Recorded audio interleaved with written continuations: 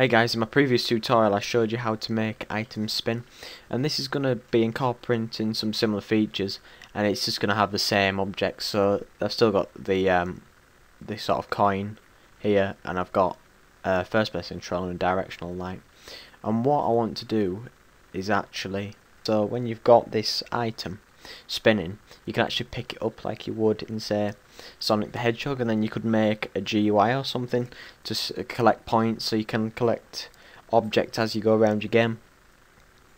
So what I'm going to do is I'm actually going to choose this ring here, and it hasn't got an actual collider on it. So what I'm going to do is add a component, physics, box collider, and with the box collider on I'm going to just scale up the element. So when I get inside this collider we're going to pick it up or destroy it. And if we tag it as is trigger that means that when we go near that trigger and inside it with the correct script it'll change. So if we create a new JavaScript and we call this object destroy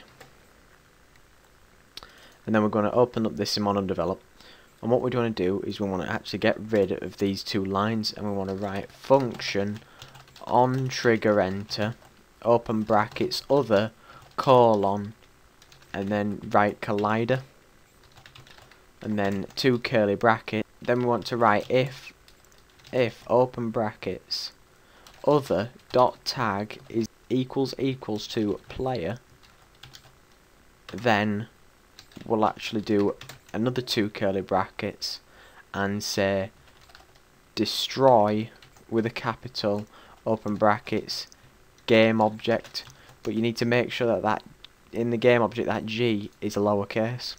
So what happens if we actually put this script object destroy on our object now? We'll start the scene. We'll see the coin spinning. When we go towards it you'll see that we collected it and now it's disappeared and you'll notice that it's disappeared out of my hierarchy which means um, essentially you've destroyed it. And um, what we can do from here now is actually add an audio effect, which when we actually pick up the coin, it makes a sound.